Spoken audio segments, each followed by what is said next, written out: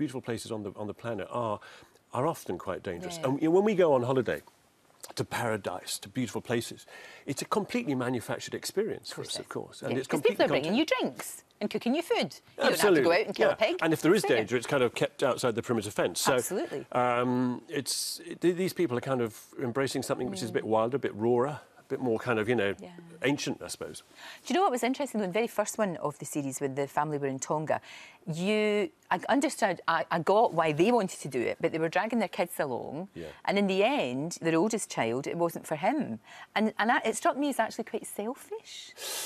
Yes, that point has been raised. Hmm. Um, look, I, I think there are thousands of people out there doing this by themselves or with a partner.